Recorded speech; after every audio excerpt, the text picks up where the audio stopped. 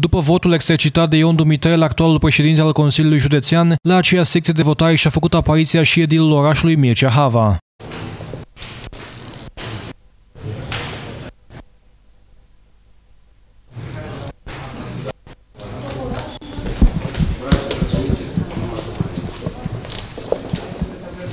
Nu foarte matinal, actualul primar și-a exercitat dreptul la vot în speranța unei viitoare funcții în fruntea orașului.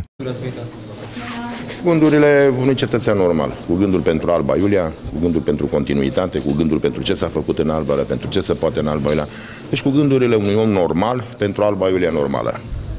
Sperați într-un nou mandat? Da. Nu sper, sunt sigur. Pentru ce ați votat, nu pentru cine ați votat. V-am spus pentru ce am votat, pentru Alba Iulia.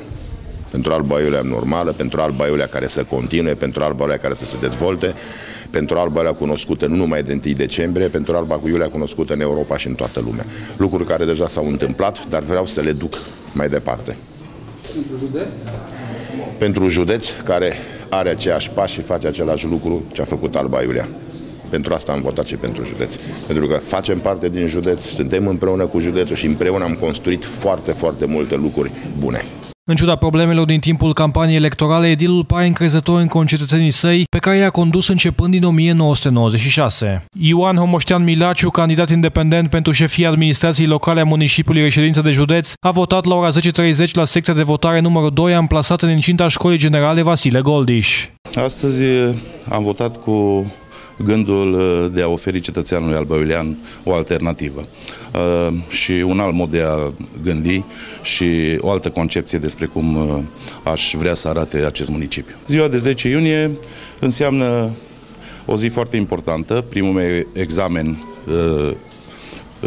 în politică și funcție de aceste rezultate mă voi gândi dacă la toamnă voi face pasul spre parlamentare. La secția numărul 2 a fost destul de aglomerat, astfel că independentul și soția sa au fost nevoiți să aștepte pe hol câteva minute până a putea intra în secția de votare pentru a-și exprima opțiunea. O jumătate de oră mai târziu, candidatul UNPR Vasile Crișan a votat la secția 33. Un uh, oraș uh,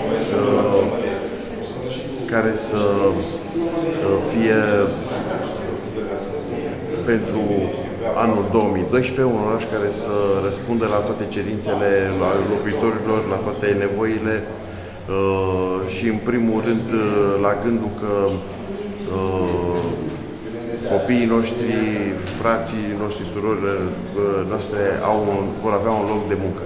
Vasile Crișan a preferat să se prezinte singur la urne, neînsoțit de nicio persoană apropiată. Călin Poto, candidatul USL la primăria Alba Iulia, a votat în jurul orei 10 la secția de votare numărul 35, amplasată în incinta colegiului Dorin Pavel. Am venit cu gândul să fac ceea ce trebuie pentru familia mea, pentru Alba Iulia, familia mea, cu gândul că anul 2012 este un an de schimbare și eu spun o schimbare majoră în ceea ce privește viața românilor albaiulieni, în ceea ce privește șansa lor de a trăi mai bine în propriul lor oraș, șansa să-și păstreze copiii aici acasă la Alba Iulia și nu prin orașele uh, ardelene și dincolo de granițele țării, în ideea în care să fie mai bine pentru absolut toată lumea. De ce nu? Și dincolo de granițele orașului să fie mai bine pentru țară.